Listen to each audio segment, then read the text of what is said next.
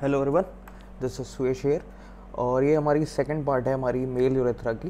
तो first part मैंने discuss कर रखा है, उसको आप पहले देख लीजिएगा। उसके बाद आप सेकंड पार्ट पे आइएगा क्योंकि उसमें मैंने बेसिक्स की बात करी है। बेसिक्स मतलब एंटीरियर यूरेथ्रा के क्या पार्ट्स होते हैं यूरेथ्रा कितना लंबा होता है, कहाँ प्रेजेंट होता है, कहाँ से कहाँ एक्सटेंड करता है, वो सारी चीज़ें मैंने पार्ट वन में डिस्कस की है। ये पोस्टेरियर यूरेथ्रा है, जिसके तीन पार्ट्स होते हैं, वो भी मैंने वहाँ डिस्कस किया है पार्ट्स अब इस वीडियो में हम उन पार्ट्स को डिटेल में डिस्कस करेंगे। तो ये देखो, ये था नोट्स पहले पार्ट का, जैसे हमने डिस्कस किया पोस्टीरियर और ये सारी चीज़ें डायग्राम के साथ।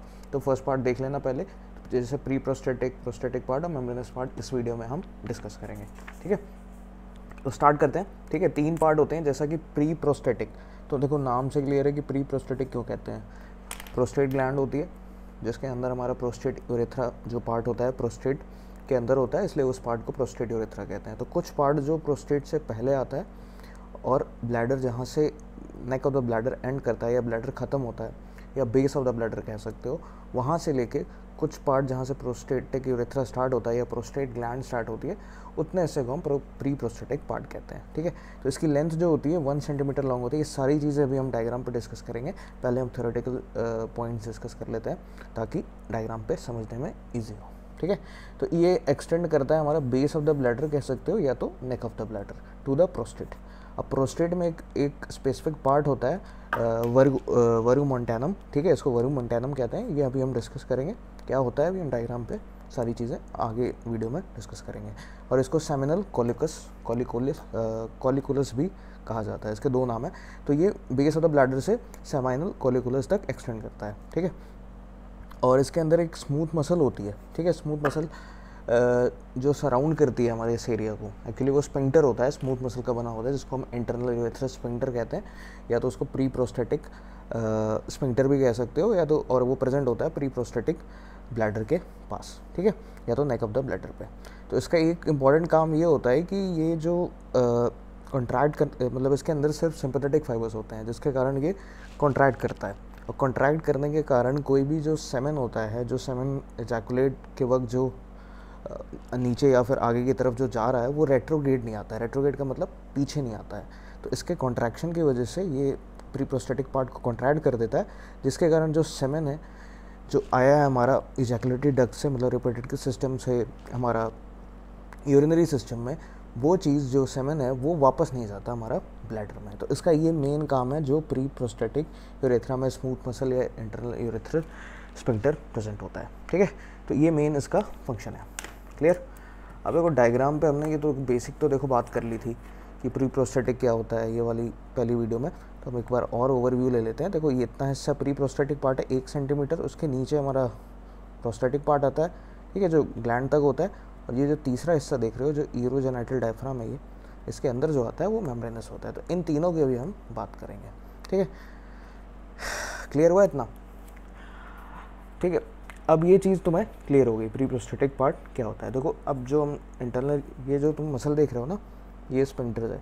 ठीक है? ये है हमारा इंटरनल यूरेथ्रल स्पिंटर और यहाँ से प्रोस्टेट ग्लैंड की जो ग्लैंड के जो एलिमेंट्स हैं, वो इसमें आते हैं हमारे। ठीक है ग्लैंड्स में ओपनिंग होती है प्रोस्टेटिक यूरेथ्रा में, अभी हम बात करेंगे उसकी भी, ठीक है। तो वो जो एजैकुलेशन होता है सेमेन का, वो वापस ना जाए, इसके लिए ये जो स्पिंटर्स होते हैं, ये कॉन्ट्रैक्ट कर देते हैं प्री प्रोस्टेटिक पार्ट को, ठीक है। तो यही मेन काम है इसका, ठीक है। अब आगे बढ़ते हैं प्रोस्टेटिक पार्ट में तो प्री प्रोस्टेटिक पार्ट बहुत छोटा सा है, अब प्रोस्टेटिक की बात करते हैं। प्रोस्टेटिक पार्ट लंबा होता है, ठीक है three to four centimetre long होता है। और हाँ प्री प्रोस्टेटिक पार्ट को अगर क्रॉस सेक्शन में देखोगे क्रॉस सेक्शन मतलब यूँ कट करोगे अगर, इसका ल्यूमन को तो ये कैसा दिखेगा? स्टिलेट शेप दिखेगा, स्टिलेट शेप ऐसा। ठीक है? तो सारे यूरेथ्रा के जो अलग अलग पार्ट्स हैं, सारे क्रॉस सेक्शन में अलग अलग दिखते हैं। हम बाकियों की अभी बात करेंगे आगे। ठीक है? तो ये तीन से चार सेंटीमीटर लॉन्ग होता है, ये सेकंड पार्ट हमारा प्रोस्टेटिक पार्ट तो नाम से क्लियर है प्रोस्टेटिक मतलब प्रोस्टेट यूरेथ्रा के ईच साइड इसके प्रोस्टेटिक ग्लैंड होगी और उसके अंदर जो होगा, वो प्रोस्टेटिक पार्ट होगा यूरेथ्रा का। ठीक है? तो ये सराउंडेड बाई प्रोस्टेटिक ग्लैंड सबसे वाइडेस्ट पार्ट होता है ये। ठीक है?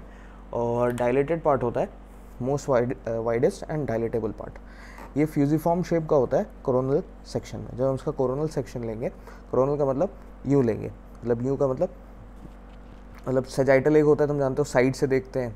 और कोरोनल मतलब हम बीच से काट के उसको सामने से देखते हैं।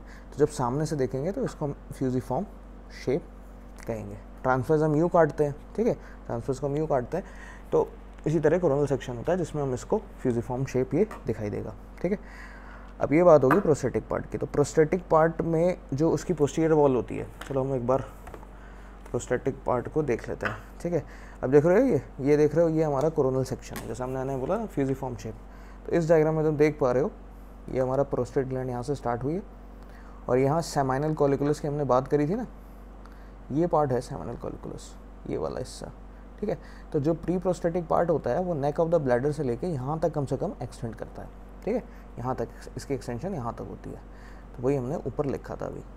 अब देखो, इसमें जो, ये जो हमारा प्रोस्टेट ग्लैंड है येलो वाली तुम देख रहे होगे, ये प्रोस्टेट ग्लैंड है साइड्स में ऑन ईच साइड अब ये जो शेप बना रहा है, इसको ही हम फ्यूजीफॉर्म शेप कहते हैं, ठीक है? ये फ्यूजीफॉर्म जैसा दिख रहा है तो ये कोरोनल सेक्शन में हमें फ्यूजीफॉर्म शेप जैसा दिखाई देता है। अब इसके अंदर ये जो फीचर्स है, इसके अंदर जो ये तुम ओपनिंग्स देख रहे हो छोटी छोटी ये पोस्टीरियर वॉल में प्रेजेंट होती है, इसी प्रोस्टेटिक यूरेथ्रा में। तो ये इसके स्पेसिफिक फीचर्स होते हैं। उसकी हम थ्योरी थ्योरेटिकली हम बात कर लेते हैं, ठीक है? अब जैसे इस डायग्राम में देख रहे होगे तो ये यहाँ से प्री प्रोस्टेटिक हुआ और ये आगे नीचे हम आए तो ये तुम देखो फ्यूजी फॉर्म शेप बन गया। अब इसके अंदर जो इसकी पीछे की वॉल होती है पोस्टीरियर वॉल प्रोस्टेटिक यूरेथ्रा की, उसमें कुछ ओपनिंग्स होती हैं और कुछ स्पेसिफिक फीचर्स होते हैं, उसकी हम थियोरेटिकली बात कर लेते हैं, फिर हम डायग्राम पे रिलेट करते हैं, ठीक है? तो अब देखो यूरेथ्रल क्रश क्रेस्ट होता है क्रेस्ट का मतलब जानते हैं, थोड़ी उभरी हुई चीज़, उठी हुई चीज़। तो ये ल्यूमेन ऑफ़ द यूरेथ्रा में प्रेजेंट होती है और ये लॉन्गिट्यूडनल फोल्ड्स होता है। ये किसका बना होता है? ये लॉन्गिट्यूडनल फोल्ड्स होते हैं म्यूकोसा के। तो म्यूकोसा की एक दो लेयर से मिल ये बनते हैं और ये थोड़ा सा ये उभरे हुए होते हैं मतलब उठे हुए होते हैं, जिसके कारण इसको क्रेस्ट कहा जाता है, ठीक है? तो ये मिड लाइन में प्रेजेंट होते हैं, ठीक है? इसके सेंटर में प्रोस्टेटिक यूरेथ्रा के। पीछे की तरफ़। उसके बाद साइनसेस होते हैं। तो ये साइनस क्या होते हैं? ये डिप्रेशन होती हैं on each side of the crest so जो क्रेस्ट है हमारा, ये क्रेस्ट जो हमारा है, इसके साइड्स में हमारे पास साइनसेस होते हैं प्रोस्टेटिक साइनसेस सो ये साइनस के अंदर कम से कम 15 से 20 ओपनिंग्स होती है प्रोस्टेट ग्लैंड्स की जो सेक्रीशंस है, उसके लिए। तो जो प्रोस्टेट ग्लैंड से सेक्रीशंस आ रही हैं, वो इन्हीं साइनस के थ्रू यूरेथ्रा में आती हैं। ठीक है? तो ये प्रेजेंट होते हैं हमारे प्रोस्टेटिक साइनस प्रोस्टेटिक यूरेथ्रा के अंदर। फिर तीसरा पार्ट हमारा कॉलिकुलस सेमिनलस है, जिसको हम वरी मोन्टैनम कहे थे, वरी मोन्टैनम और अभी हमने उसकी डायग्राम में भी बात करी थी, ठीक है? अभी हम और डिटेल में बात करेंगे।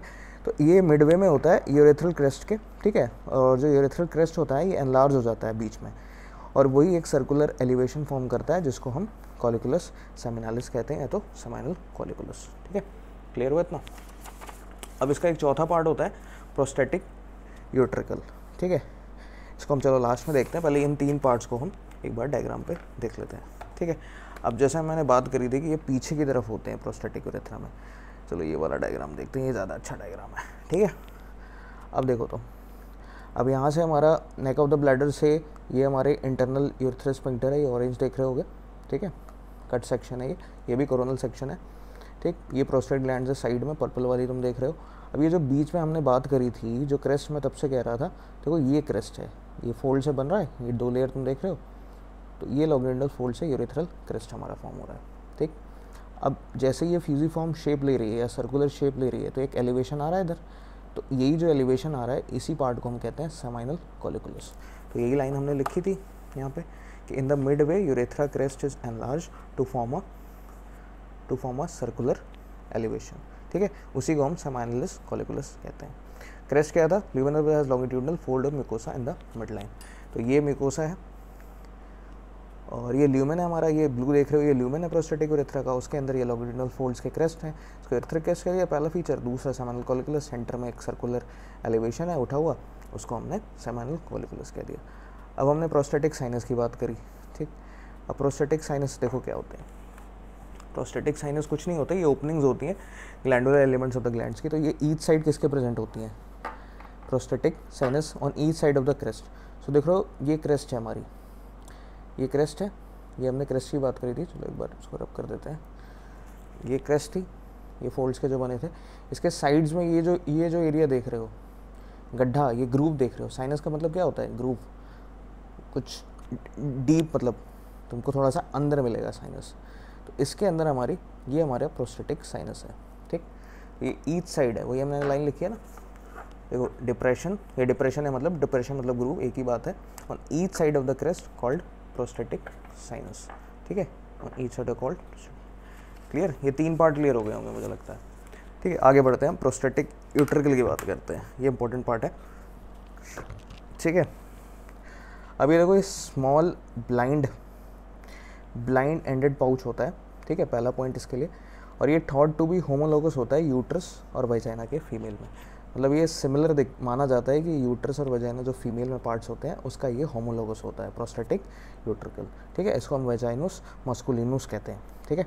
It open as a slit like orifice in the centre of seminal colliculus जो हमने सर्कुलर एलिवेशन की बात करी थी लॉन्गिट्यूडनल फोल्ड से जो नीचे आके फ्यूजिफॉर्म शेप बन रहा था, जो सेमिनल कॉलिकुलस था सेंटर में, उसके अंदर एक ऑरिफिस होती है. ऑरिफिस मतलब एक छेद कह सकते हो. छोटा सा एक छेद होता है. और उसी को ही हम स्मॉल ब्लाइंड एंडेड पाउच कहते हैं. और या स्लेट लाइक ऑरिफिस कह लो। तो वो प्रेजेंट होती है centre of the seminal colliculus ठीक है? अब just on the either side of the prostatic utricle so ये जो ऑरिफिस है, इसके साइड्स की हम बात करें तो इसमें इजैकुलेटरी डक्ट की ओपनिंग्स होती हैं, ठीक है? तो अब मैंने बताया था कि ये इजैकुलेटरी डक्ट कहाँ से आती हैं? ये यूरेटरी सिस्टम से आती है। रोटरी सिस्टम मतलब जो हमारा सेमेन है, वो कहाँ से आ रहा है? इधर से मतलब प्रोडक्शन उसकी हो रही है, वो फिर इजैकुलेटरी डक्ट के थ्रू इजेक्टिव डक्ट है, उसकी ओपनिंग्स प्रोस्टेटिक यूरेथ्रा में हो रही है। तो यही ओपनिंग्स जो प्रोस्टेटिक यूरेथ्रा में हो रही है, वो इसके साइड्स में प्रेजेंट होती हैं। प्रोस्टेटिक यूट्रिकल के, ठीक है? तो ये प्रोस्टेटिक यूट्रिकल जो होता है, ये बहुत इंपॉर्टेंट होता है बिकॉज़ ये यूरिनरी और रिपोर्टेड ट्रैक्ट्स को मैन में कनेक्शन करता है। मतलब इस connection it is a connection between urinary and reproductive part in man और ये कहाँ पे होता है? Prostatic part of the urethra में, ठीक है? तो हम लोग उसको डायग्राम पे एक बार देखते हैं।